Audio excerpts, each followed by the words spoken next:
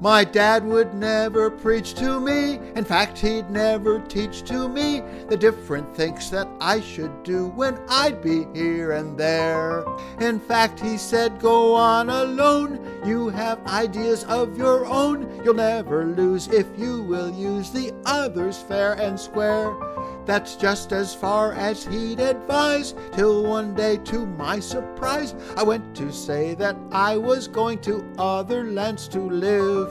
And as I went to say goodbye, he saw a teardrop in my eye. Said he, my lad, ah, that's too bad, I've some advice to give. Always leave them laughing when you say goodbye. Never linger long about, or else you'll wear your welcome out when you meet a fellow with a tear dimmed eye. You can leave him laughing if you try. When he tells his troubles, interrupt him with a joke. Tell him one he's never heard, and he'll declare that it's a bird. When he's giggling good, you know that's the time to turn and go. Always leave them laughing when you say goodbye.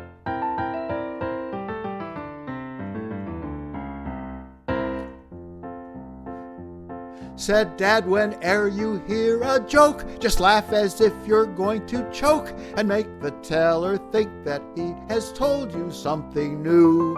Said he, I never went to school, but still I have a golden rule to always laugh at others as you'd have them laugh at you. Don't sympathize with anyone, but turn their troubles into fun. When everybody's pouting, that's the time to wear a smile. No matter if you're rich or broke, just treat the whole thing as a joke.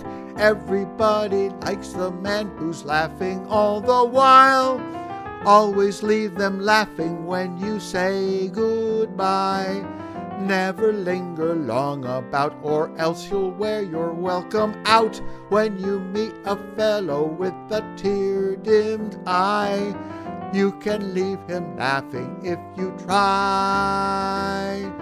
When he tells his troubles, interrupt him with a joke.